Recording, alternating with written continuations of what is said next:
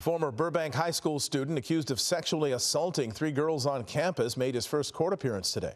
Patrick Nazarian of Glendale was arrested at the school on Monday. The 22-year-old graduated from the school in 2018. Eyewitness News reporter Sid Garcia has the latest. We rely on them to keep our children safe for most of the day.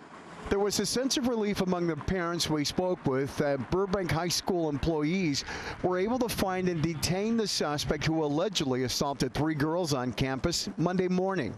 According to Burbank police, a former student, 22-year-old Patrick Nazarian, got on campus through an unlocked door near the parking lot. He allegedly sexually assaulted a 14-year-old female student in a bathroom. That student reported what happened.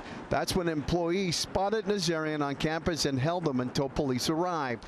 Two more female students, another 14-year-old and a 17-year-old, came forward to say they were allegedly inappropriately touched by Nazarian. I'm really glad that actually they took quick action and they they did what they were supposed to do to keep our kids safe. Patrick Nazarian made his first court appearance this afternoon. No cameras were allowed. Through his lawyer, the former Burbank High School student pled not guilty to one count of felony sexual assault and two misdemeanor counts of annoyance of a child under the age of 18. According to Burbank Unified and the school, they're looking into how Nazarian was able to get into a closed campus.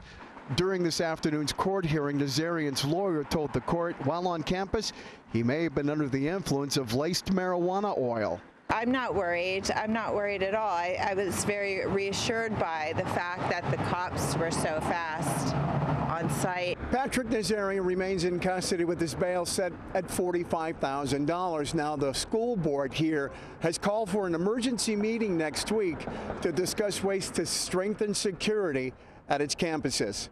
Hello, I'm Mark Brown. Get more great ABC7 content by clicking the subscribe button for our YouTube channel and download the ABC7 Los Angeles streaming app on Fire TV, Android TV, Apple TV, and Roku to watch on your TV.